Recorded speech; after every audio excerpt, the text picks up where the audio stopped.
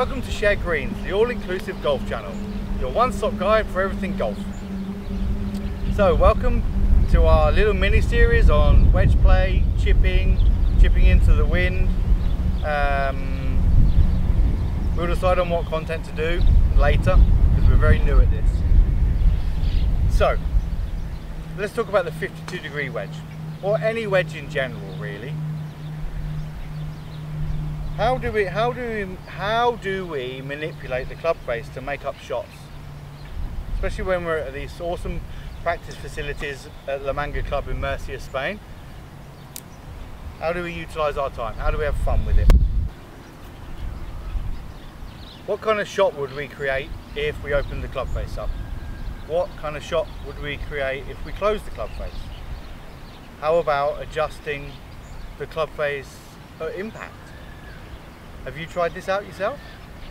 It's a great way to get these as your friends. Mwah. Now I've got this PXG 52 degree Sugar Daddy bad boy. It's, it's worn to hell because it's my practice club. So let's talk about a high shot. So what would I do for a high shot? Now remember this is just fun. Play around with it and you'll find out what kind of shot you like and what you're good at and what you're not good at or what you've got to work on. So for a high shot, I, as, as a general rule of thumb, a chip shot should be played from the middle of your stance with about 60% of the weight on your front, on your lead leg, and 40% on, on, your, on your right leg. So, but for a high shot, I, I normally just go 50-50 and instead of being the ball being here, I, I move it further forward.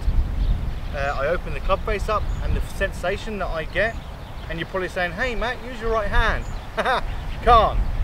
So the sensation with my left hand is really controlled swing, and I try to feel like my the logo of my glove points to the sky.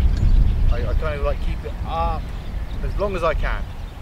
So this will keep the club face open as long as possible. So we should pop up a nice little shot. So let's give this a go. So remember, weight 50-50, club face open, keep the logo as open as possible.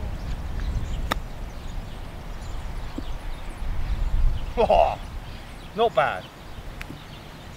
So, how about if we close the club face down? What would happen? Would we have more spin, less spin, higher, lower? I'm going for lower.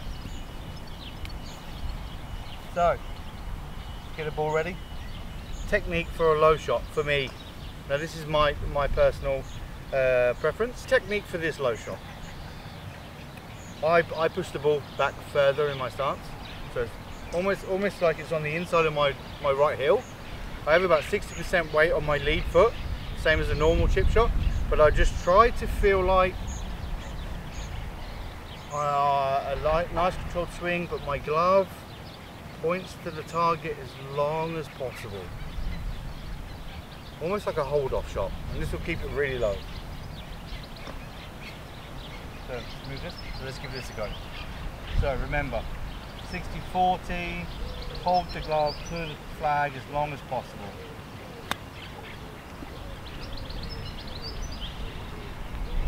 Not bad, so it had a lot more run on it. Okay, so let's try a draw, draw shot with a wedge.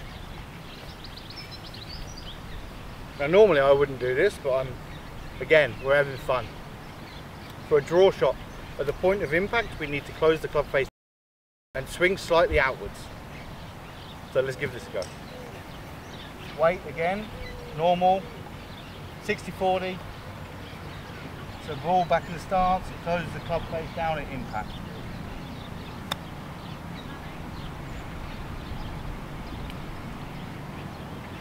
Not bad. So, it's really windy today, and we haven't talked about one very important factor. That is the wind. Now when chipping into the wind, the ball is going to be affected dependent on the height you throw the chip shot at. So, for example, the high chip shot, the wind is going to affect it a lot more than if you keep it closer to the ground. So let's throw this away. Let's pick up a 9 iron and we'll keep this as low as possible and it'll be more consistent. So 9 iron, exactly the same as you would with a normal wedge. Weight slightly further forward, slow and swing.